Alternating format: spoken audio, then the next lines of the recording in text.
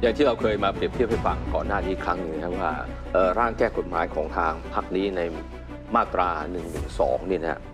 เอ่อแก้โทษของคนที่หมิ่นเอ่อสถาบันพระมหากษัตริย์โทษนั้นต่ำลงมาอ่าต่ำจนทั้งถูกคอรหาว่าโอ้โหโทษนั้นต่ำกว่าคดีอาญาที่หมิ่นประมาทบุคคลธรรมดาทั่วไปด้วยซ้ำคุณก็เลยไปแก้ คดีอาญาหมิ่นประมาทบุคคลธรรมดาทั่วไปให้ต่ำลงมาอีกอ่าเพื่อไม่ให้ถูกข้อคอรหาอืมเห็นไหมฮะอืมนี่แหละฮะที่เขาถึงได้ว่าไงว่า คุณไม่ได้ปกป้องสถาบันพระมหากษัตริย์อ่านี่อะแล้วก็พูดถึงก้าวไกลนะครับท่านผู้ชมฮะก็ตลอดทั้งคืนเมื่อคืนนี้ก็มีการพูดถึงในประเด็นหนึ่งเรื่องของการถือหุ้นสื่อไอทีวีของพิธาลิมเจริญรัตน์ อย่างที่เราทราบกันก่อนหน้านี้เนี่ยมีการอ้างอิงถึงการประชุมผู้ถือหุ้นของบริษัทไอทีวีเมื่อวันที่ 26 เมษายนที่ผ่านมา แล้วก็เขาเป็นประชุมการผ่านทางออนไลน์ครับนะแล้วก็มีคนคนหนึ่งถามเกี่ยวกับสถานะของหุ้นไอทีวีในขณะนี้นะฮะแล้วคำตอบก็คือว่ายังดำเนินการเอ่อคนที่นำการประชุมนั้นตอบว่ายังดำเนินการเกี่ยวกับเรื่องของสื่ออยู่นะฮะอืม ปรากฏว่าเมื่อคืนนี้ในรายการข่าวสามมิติของช่องสามนะฮะคุณทัปปณีเอียดศรีชัยก็เปิดคลิปวิดีโอนี้ ชี้ให้เห็นว่าบันทึกการประชุมกับเนื้อหาที่ประชุมในวันนั้นเนี่ยมันต่างกันเดี๋ยวเรามีคลิปนี้ลองฟังดูนะโดยเฉพาะอย่างยิ่ง ประธานประธานที่ประธานกรรมการบริษัทที่อยู่ในที่ประชุม ซึ่งเป็นคนตอบคำถามชื่อคุณคิมสิริทวีชัย ส่วนคนที่ตั้งคำถามเนี่ยชื่อคุณพานุวัฒน์ขวัญยืนนี่นะฮะคุณพานุวัฒน์เนี่ยถามว่าบริษัทไอทีวีมีการดำเนินงานเกี่ยวกับสื่อหรือทีวีหรือไม่ แล้วคุณคิมก็ตอบว่าตอนนี้บริษัทยังไม่มีการดำเนินการใด ๆ เดี๋ยวท่านผู้ชมฟังในช่วงเวลานี้ก่อนแล้วเดี๋ยวเราจะมาประมวลภาพทั้งหมดที่เกิดขึ้นกันฮะอะลองดูฮะ กิจการเกี่ยวกับสื่อหรือทีวีไหมครับ ตอนนี้บริษัทยังไม่ได้ครับ มีคำถามจากคุณพานุวัฒน์ขวัญยืนมาด้วยตนเองนะครับ มีการดำเนินกิจการเกี่ยวกับสื่อหรือทีวีไหมครับ ตอนนี้บริษัทยังไม่ได้มีการดำเนินการใด ๆนะครับ ก็รอผลคดีความให้สิ้นสุดก่อนนะครับ จากคุณวิรัตข้องประกิจครับ มีคำถามจากคุณพานุวัฒน์ขวัญยืนมาด้วยตนเองนะครับ มีการดำเนินกิจการเกี่ยวกับสื่อหรือทีวีไหมครับ ตอนนี้บริษัทยังไม่ได้มีการดำเนินการใด ๆนะครับ ก็รอผลเอ่อคดีความให้สิ้นสุดก่อนนะครับ จากคุณวิรัตข้องประกิจครับอ่ามีมีคำถามคุณจากวิรัตก็จะเป็นคำถามอื่นนะใช่ครับพอ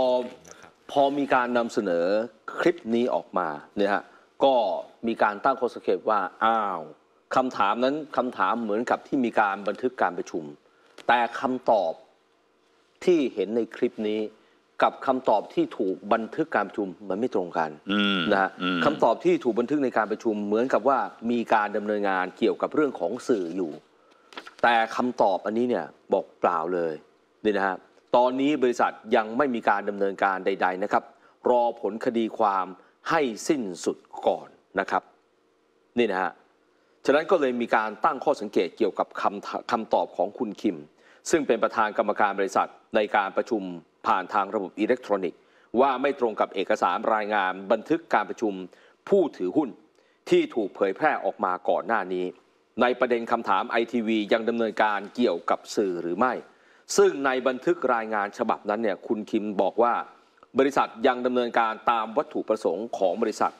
มีการส่งงบการเงิน ยื่นแบบภาษีเงินได้นิติบุคคลตามปกตินี่นะฮะ ฉะนั้นเนี่ยมันก็ต้องไปไล่เบี้ยดูว่า เอ๊ะทำไมบันทึกการประชุมกับตรงนี้เนี่ยมันถึงแตกต่างกันอืมใครเป็นผู้บันทึกการประชุม ใครเป็นคนตรวจ และใครเป็นคนลงนาม อันนั้นประเด็นหนึ่งอ่าประเด็นต่อมาวันนี้นะฮะทางก้าวไกลก็จะออกมาแถลงข่าวโดยกรุณพลเทียนสุวรรณนะครับ บอกว่าแถลงข่าวเรื่องหุ้นไอทีวีที่พักก้าวไกล ขอบคุณผู้หวังดีที่ช่วยกันลากไส้กลุ่มอำนาจที่เกาะกินประเทศนี้ ที่ทำทุกทางเพื่อรักษาอำนาจและผลประโยชน์ของตัวเองนี่นะฮะเดี๋ยววันนี้เขาจะแถลงข่าวก็ลองติดตามดูนะฮะอืมแต่ว่าท่านผู้ชมฮะก็ต้องรอบด้าน มันมีอีกประเด็นหนึ่งอาจารย์สมชัยศรีสุทธิยากรคนนี้เป็นอดีตกกตนะฮะแล้วตอนนี้เอ่อก็มีการโพสต์เฟซบุ๊กนะครับแสดงความเห็นเกี่ยวกับเรื่องนี้นะครับว่าเอ่อหลังจากที่ได้ดูคลิปนี้แล้วเนี่ยนะครับ อาจารย์สมชัยบอกว่ามีสติดูให้รอบคอบและละเอียดในทุกๆเรื่องเออในขณะที่สังคมยินดีกับพิธาว่าพ้นบ่วงไอทีวีจากการเผยแพร่คลิปบันทึกการประชุมนะฮะที่มีเนื้อหาว่าไอทีวีไม่ได้ประกอบกิจการสื่อ ซึ่งไม่ตรงกับรายงานการประชุม ซึ่งเป็นหลักฐานสำคัญในการร้องกกตสังคมทั้งสังคมกำลังประนาม และตามหาตัวคนลงนามในหนังสือ และคนตรวจรายงานการประชุม ผมดูคลิปซ้ำไปซ้ำมามากกว่า 10 รอบ มีข้อสังเกตที่ต้องให้ความเป็นธรรมดังนี้ 1. คลิปมีการสะดุด ระหว่างการเอ่ยคำถามและคำตอบที่สำคัญ คล้ายกับเป็นการบันทึกที่ไม่ต่อเนื่อง หรือตัดอืมนะฮะเออหรือตัดบางประโยคออก ข้อ 2. ผมโทรหาแยมทัปปนีใกล้เที่ยงคืน เพื่อตั้งข้อสังเกตว่าเทปอาจจะได้มาไม่สมบูรณ์ แยมบอกว่าได้มาครบ และส่วนนั้นนำเสนอโดยไม่มีการตัดต่อ ที่สะดุดอาจจะเป็นเพราะสัญญาณเน็ตในขณะที่ประชุม 3. ผมโทรขอความเห็นผู้สื่อข่าวอีกรายหนึ่ง เขาดูซ้ำหลายรอบ และบอกว่ามีโอกาสชนคัดนะหรือว่าทริม บางส่วนออกเออมีโอกาสชนคัดก็คือทริมบางส่วนแล้วมาต่อกันได้ เพราะภาพสะดุดและมุมกล้องขยับ 4. เรื่องนี้จำเป็นต้องรอบคอบที่สุด ในการหาผู้เชี่ยวชาญมาวิเคราะห์ และขอหลักฐานคลิปเต็มถ้ามี หรือบันทึกเสียงหรือพยานบุคคลที่มากกว่าชื่อในรายงาน และหากมีเทปที่ระบุเวลาพูดเป็นวินาที จะยืนยันได้ดีที่สุด ลงท้ายนะฮะเชียร์พิธายินดีกับพิธา แต่ต้องเบิงตาให้กว้างที่สุด สมชัยศรีสุทธิยากรตีห้าสี่สิบห้านาทีวันนี้เออนี่นะฮะฉะนั้นเนี่ยเอ่อเอ่อเราฟังก็มุมหนึ่งก็เราจะเห็นว่าหนึ่ง คำคำตอบในคลิปกับบันทึกเนี่ยในรายงานการประชุมมันไม่ตรงกันแน่ใช่ไม่ตรงกันจริงอืมๆนะฮะอันนี้ต้องยอมรับอืมแต่อีกมุมหนึ่งของอาจารย์สมชัยก็น่าสนใจว่าทำไมมันมาสะดุดช่วงนี้ แล้วในคลิปจริงๆเนี่ยมันมีวินาทีไหมถ้ามันมีวินาทีไล่เรียงไปไล่เรียงไปเหมือนแบบพวกกล้องวงจรปิดเนี่ย แล้วถ้าวินาทีมันกระโดดเนี่ยอันนั้นจะจะเห็นชัด ว่ามันอ่ามีมีการตัดต่อว่าใช่แต่อันนี้มันไม่มีวินาทีอยู่ในคลิปนี่ไงเออลองแต่ดูอีกทีท่านผู้ชมอะลองดูอีกทีฮะลองดูอีกทีฮะคดีลองดูอีกทีมีคำถามจากคุณพานุวัตรขวัญยืนมาด้วยตนเองนะครับ มีการดำเนินกิจการเกี่ยวกับสื่อหรือทีวีไหมครับ ตอนนี้บริษัทยังไม่ได้มีการดำเนินการใด ๆนะครับ ก็รอผลเอ่อคดีความให้ขอขออีกทีขออีกทีจากเดี๋ยวท่านผู้ชมดูรอยต่อครับอ่ามีมีคำถามจาก คุณพานุวัตรขวัญยืนมาด้วยตนเองนะครับ มีการดำเนินกิจการเกี่ยวกับสื่อหรือทีวีไหมครับ ตอนนี้บริษัทยังไม่ได้มีการดำเนินการใด ๆนะครับ ก็รอผลใช่ฮะคดีความให้สิ้นมันสุดตึ๊ดหนึ่งครับจากคือณวิโรจอ่านไปแล้วเนี่ยครับมีกำลังจะตอบเนี่ยคุณพานุวัฒมันควรจะ smooth ไงตนเองมันจะมันจะต้องใช่ไหม smooth เออมันจะต้อง smooth นะครับ มีคำถามจากจากทางด้านของคุณเอ่อพานุวัตรขวัญยืนนะครับ นี่นะครับ คุณพานุวัตรขวัญยืน ซึ่งเป็นผู้ถือหุ้นเนี่ยนะครับ มีการดำเนินงานเกี่ยวกับสื่อไหมครับนะฮะซึ่งในบันทึกการประชุมที่เป็นที่เป็นเอกสารเนี่ยท่านผู้ชมฮะที่ไม่ได้เป็นคลิปแบบนี้เนี่ยทางด้านของคนตอบเนี่ยเขาตอบว่าปัจจุบันบริษัทยังดำเนินกิจการอยู่ ตามวัตถุประสงค์ของบริษัท และมีการส่งงบการเงิน และยื่นแบบภาษีเงินได้นิติบุคคลตามปกตินะครับ ตอบแบบนี้ฮะในเอกสารนะครับ อืมตอบแบบนี้ หลังจากคุณพานุวัฒน์ขวัญยืนถามแล้วนะครับว่าไอทีวีเนี่ยยังมีสภาพความเป็นสื่อไหมนะพูดอืมพูดตรงๆคำตอบคือปัจจุบันบริษัทยังดำเนินกิจการอยู่ตามวัตถุประสงค์ของบริษัท และมีการส่งงบการเงิน และยื่นแบบภาษีเงินได้ นิติบุคคลตามปกตินะครับ แต่ที่คุณถาปณีไปขุดมาเนี่ยนะครับ บอกว่าไม่ใช่นะครับ ทางด้านของเอ่อประธานกรรมการบริษัทคุณคิมเนี่ยตอบว่า ตอนนี้บริษัทยังไม่มีการดำเนินการใด ๆนะครับ รอผลคดีความไม่สิ้นสุดก่อนนะครับ แต่หลังจากคุณพานุวัฒน์นะฮะถามไปแล้ว ซึ่งคำถามเนี่ยก็ทวนโดยคุณคิมอืมคุณคิมเป็นคนอ่านถูกไหมฮะอืมคุณคิมเป็นคนอ่าน เสร็จแล้วเนี่ยพออ่านจบคำถาม ก่อนจะมาถึงคำตอบเนี่ย มันน่าจะไร้รอยต่อ ใช่ มันน่าจะไร้รอยต่ออมนะฮะแต่มันนิดหนึ่งท่านผู้ชมฮะเห็นไหมฮะอาจารย์สมชายบอกผมดูเป็นสิบรอบนะ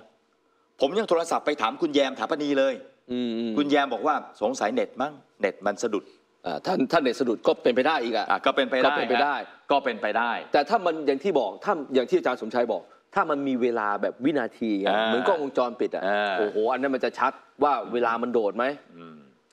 แต่นี่นะฮะท่านผู้ชมฮะ อันนี้เราก็คือคือคุณคุณถาปนีเนี่ย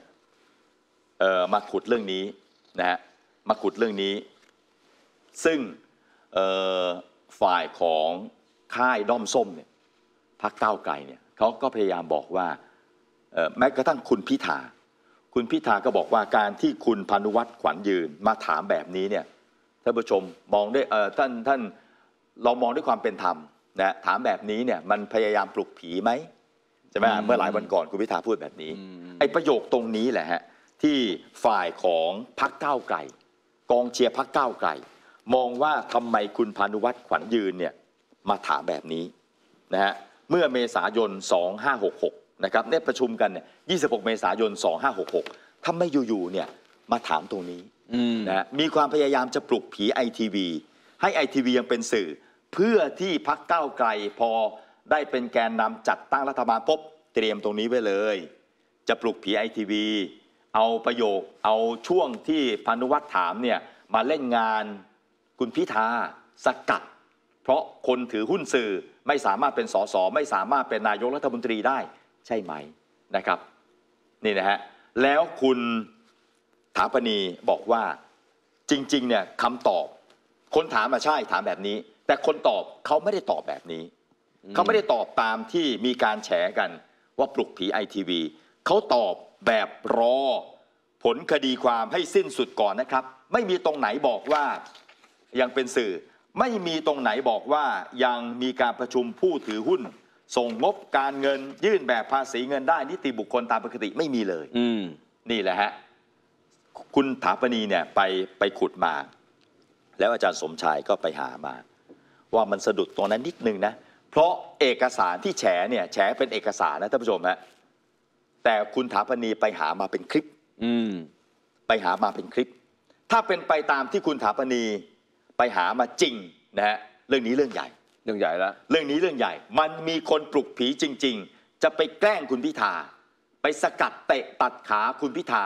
ไม่ให้เป็นสสและไม่ให้เป็นนายก อันนี้เรื่องใหญ่แน่นอน แล้วเอกสารที่แฉกันไปเนี่ยนะฮะ แฉกันไปลงข่าวกันไปมากมายเนี่ยนะครับ หลายวันเนี่ย ใครเป็นคนทำขึ้นมา มันต้องมีคนทำอืมนอกจากมีคนไปเหมือนกับไปโทษนะไปเซตตั้งคุณพานุวัตรมาถามแล้วเนี่ย มันจะต้องมีคนไปปลอมแปลงเอกสารด้วยใช่ไหมฮะใช่ปลอมแปลงเอกสารของทางไอทีวีนะครับ ทีนี้ก็คืออย่างนี้ฮะเหตุการณ์ที่เขาแฉเรื่องคุณพานุวัตรขวัญยืนนะครับ เป็นคนถาม วันนั้นครับเนยมีคนถามอยู่สองคนที่ถามเยอะนะฮะแต่คุณพานุวัตรขวัญยืนเนี่ยถามในประโยคที่ทางฝ่ายของพรรคก้าไกลมองว่าปลุกผีไอทีวีก็ถามอย่างประโยคที่ว่า แล้วก็สื่อก็นำเสนอเรื่องนี้มาเยอะนานหลายวันนะครับ นานหลายวัน ถ้าเรื่องนี้เนี่ยนะฮะคุณคิม ประธานไอทีวีประธานกรรมการบริษัทไอทีวี ตอบอย่างที่คุณแยมไปขุดคลิปมาจริงอืมตอบแบบนั้นจริงอืมไม่ใช่ตามที่เขาแฉกันอืมใช่ไหมฮะ ไม่ใช่ตามที่เขาแฉกันท่านผู้ชมเป็นคุณพานุวัตรขวัญยืนเนี่ยคุณพานุวัตรจะเงียบไหมอืมอืมใช่ไหมฮะอืมคุณพานุวัตรก็ตอบเอ้ย ผมถามแบบนั้นใช่ แต่คนตอบเขาไม่ได้ตอบแบบนี้นะเขาไม่ได้ตอบว่ายังเป็นสื่ออยู่อืมใช่ไหมเขาต้องตอบ เขาต้องตอบตามคือคุณพานุวัตรต้องออกมา คือฉะนั้นวันเนี้ยผมว่าทั้งคุณภาวะกับคุณคิมต้องออกใช่เออถูกคุณต้องคิมก็ต้องออกด้วยใช่ เออคุณคิมก็ต้องออก ต้องออกมาด้วยวันนี้ ใช่ แล้วถ้าเกิดแล้วถ้าเกิดเออเป็นไปอย่างที่คุณแยมไปหามาจริงนะ ก่อนหน้านี้หลายวันที่ผ่านมาเนี่ยพานุวัตรกับคุณคิมเนี่ยทำไมเงียบ ถูกไหมอืมอืมทำไมเงียบ อืมอืม ในเมื่อที่เขาแฉกันน่ะ ว่าเฮ้ย ไอทีวียังเป็นสื่อนะ เพราะคุณคิมตอบแบบนี้นะอ่าคุณพานุวัฒน์ถามแบบเนี้ยใช่ แล้วคุณคิมก็ตอบแบบนี้นะ ยังเป็นสื่อยังมีการยื่นภาษีเงินได้นิติบุคคลนะฮะแต่เขาแฉกันเนี่ย ถ้ามันไม่จริง ถ้ามันจริงอย่างที่คุณแยมบอกอืมใช่ไหมอืมอืมว่าคุณคิมไม่ได้ตอบแบบนั้นทำไมคุณคิมเงียบอ๋อก่อนที่จะมีคลิปนี้ด้วยซ้ำนะเออเออทำไมว่าคุณคิมเงียบออทำไมคุณคิมเงียบว่า ผมไม่ได้ตอบแบบในบันทึกการประชุมนะใช่ โดยที่ไม่ต้องรอคลิปนี้ถูกต้องคุณคิมกับคุณพานุวัฒน์เนี่ย ไม่น่าจะเงียบอืมอืมหรือพวกคุณจะบอกอีกว่าอ๋อก็สองคนนี้ถูก ใครก็ไม่รู้แหละเอาไปเก็บกักตัวไว้ไงคือเรื่องเนี้ยคือเอ่อต้องยอมรับว่ากว่าคุณแยมจะออกมาเมื่อวานนี้เหตุการณ์เนี้มันผ่านมานานมากนะเรื่องการปลุกผีไอทีวีเนี่ยใช่ไหมฮะ คุยเรื่องหุ้นสื่อไอทีวีอยู่นานมากนะคุยเรื่องหุ้นสื่อไอทีวีสี่หมื่นสองพันหุ้น ประเด็นที่คุณพิธาเป็นผู้จัดการมรดก ได้รับมาจากคุณพ่อนะครับ แล้วก็เอ่ออันนั้นประเด็นหนึ่ง อีกประเด็นหนึ่งก็คือว่าไอทีมันยังเป็นสื่ออยู่ จากตรงนี้อืมอืมจากตรงนี้จากที่คุณคิมเป็นคนตอบในการประชุมผู้ถือหุ้น 26 เมษายนท่านผู้ชมฮะ 26 เมษายน 2566 นะครับ แล้วพอเรื่องหุ้นไอทีวีมันแดงขึ้นมา แล้วก็มีการยกเอาคำถามของคุณพานุวัฒน์ยกเอาคำตอบของคุณคิม มาใช้นะฮะมาใช้คัดค้านมาใช้บอกว่าคุณพิธาคุณแย่แล้วไอทีวียังเป็นสื่ออยู่นะอืมคุณถือหุ้นสื่อเนี่ย คุณแย่แล้วถ้าคุณคิมไม่ได้ตอบแบบนั้นจริง ตอบอย่างที่คุณแยมไปขุดมาจริงเนี่ย ทำไมคุณคิม ซึ่งเป็นประธานกรรมการบริษัทไอทีวีเนี่ยนะฮะทำไมเงียบอืมทำไมปล่อยให้สังคมเขาเออ สังคมเขาบิดเบือนคำตอบตัวเองอะ่ะอืมอืมใช่ไหมฮะอืมเออ ผมไม่ได้ตอบแบบนั้นนะ ผมตอบอย่างที่คุณแยมบอกนี่แหละ เอออืมมันต้องรอผลทางคดีก่อน ผมไม่ได้บอกเลยว่าเป็นสื่อทำไมคนอย่างคุณคิมเงียบ และทำไมคนอย่างคุณพานุวัฒน์ซึ่งเป็นผู้ถือหุ้นคนหนึ่ง และเป็นห่วง อนาคตของทางไอทีวีเพราะว่าตัวเองเนี่ยซื้อหุ้นไอทีวีก็อยากจะมีกำไรกำไรจากการใช่ไหมฮะซื้อหุ้นนี้อืมทำไมจึงเงียบ เอ๊ะผมถามจริง เอ๊ะแต่คุณคิมไม่ได้ตอบแบบนี้นะ เออเอาสังคมกำลังปลุกผีไอทีวีจริง ๆ อยู่ว่ากำลังแกล้งคุณพิธานี่ว่าใช่ไหมฉะนั้นวันนี้นะฮะยังไงก็ตามแต่ทั้งคุณคิม ซึ่งเป็นประธานในการประชุมเนี่ย กับคุณพานุวัฒน์ต้องออกมา แล้วต้องตอบเยอะด้วย ตอบเรื่องคลิปนี้ก่อนว่า จริงหรือไม่จริงพูดแบบนี้ไหม ถ้าคลิปอันนี้จริงคำถามก็ย้อนกลับไปว่าอะแล้วทำไมก่อนหน้านี้ก่อนจะมีคลิปเนี้ยที่เขามีข่าวกันตลอดว่า ในบันทึกการประชุมพูดแบบเนี้ยทำไมคุณไม่ออกมาบอกว่ามันไม่จริงอ่าใช่ไหมอ่าโอ้ต้องตอบเยอะเลย ยังไงก็ต้องออกมานะคุณคิม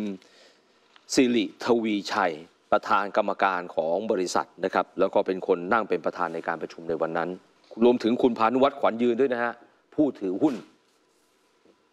แล้วก็อาจารย์สมชัยเป็นคนออกมาบอกนะ อาจารย์สมชายออกมาบอก อาจารย์สมชัยนะเรื่องนี้นะฮะเอ่อในฐานะที่เราเป็นสื่อด้วยกันนะสำหรับคุณแยมถาปณีอืมแล้วก็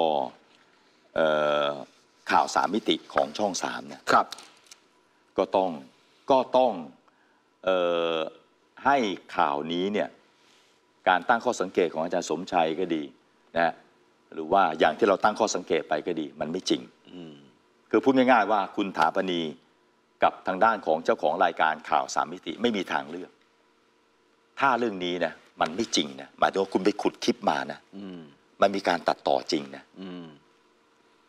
และคำตอบจริง ๆ เนี่ย มันเป็นไปตามเอกสารบันทึกการประชุมผู้ถือหุ้นอืมสิ่งที่คุณไปหามาเนี่ยมันไม่จริงนะโหจบเลยนะอืม ชีวิตการเป็นสื่อคุณนะจบเลยนะอืมอืมฉะนั้นเนี่ยคุณไม่มีทางเลือกนะ คุณต้องทำให้เรื่องเนี้ยมันเป็นจริงให้ได้ ตามที่คุณเอาคลิปมาแชร์อืมนะฮะตามที่คุณเอาคลิปมาแชร์ แล้วถ้าเรื่องนี้เป็นความจริงท่านผู้ชมฮะ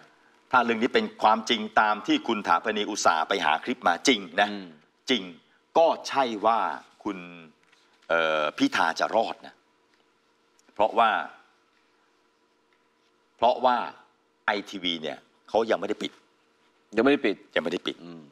ตามที่เราเคยเอามาให้ดูกันนะครับ คนสมัครสอสอคนเป็นสอสอหลายคนที่ถือหุ้นสื่อนะครับ บางทีเนี่ยถือหุ้นสื่ออยู่ในบริษัทที่ไม่ได้ทำกิจการนานเป็น 10 ปีนะ9ปี 10 ปีนะอืมอืมเขายังหมดสิทธิ์ สมัครเขายังถูกถอดเลย เพราะว่าบริษัทนั้นเนี่ยจะกลับมาเป็นสื่ออีกเมื่อไหร่ก็ได้ไงเออ ไม่ได้ไปแจ้งปิดกับทางกระทรวงไงเออเอออันนี้ก็เหมือนกันนะเออถามว่าไอทีวีเนี่ยจะเป็นสื่อหรือไม่เป็นสื่อเนี่ย ชื่อของบริษัทไอทีวีเนี่ย ปิดหรือยังอืมยังไม่ปิดนะอืมเพียงแต่มีคดีความกับทางสำนักงานปลัดสำนักนายกรัฐมนตรีแค่นั้นเองใช่นะฮะเนี่ยเออ เพราะประโยคที่คุณคิมตอบสมมติว่าตอบจริงนะ อ่าตอนนี้บริษัทยังไม่ได้มีการดำเนินการใด ๆ นะครับ อ่ารอผลคดีความ ให้สิ้นสุดก่อนนะครัใช่ ฉะนั้นถ้าเอาตามประโยคนี้หนึ่งไม่ได้ปิดเออ สองรอผลคดีก่อน ใช่ถ้าผลคดีจบแล้วเนี่ย คุณอาจจะกลับมาทำงานด้านสื่อต่อก็ได้ ก็นั่นน่ะสิฮะถูกไหม เออ แต่เอาล่ะ ถ้าคุณถาปณีไปขุดมาจริงเนี่ย อันนี้ก็เรื่องใหญ่แน่นอน เรื่องใหญ่แน่ มีการปลอมแปลง มีการปลอมแปลง มีการปลอมแปลงเอกสารนะฮะ แต่ถ้าไม่ใช่เรื่องจริงนะฮะ อันนี้ก็ยิ่ง ผมว่าเรื่องใหญ่กว่า เรื่องใหญ่กว่าเลยแหละนะฮะ แต่ทั้งหลายทั้งปวงอยู่บนพื้นฐานความเป็นจริงว่า ไอทีวียังไม่ได้แจ้งปิด ยังไม่ได้ไปขอปิดอืมนะมันมีคดีความกันอยู่ อย่างที่ผมเคยเล่าให้ฟังนะลำดับความเป็นมา ที่ทางด้านของไอทีวีนะครับภายใต้การถือหุ้นใหญ่ของทางชินขอบเมื่อหลายปีก่อนนั้นนะครับ ก็ขอยื่นให้กับทางด้านของศาลปกครอง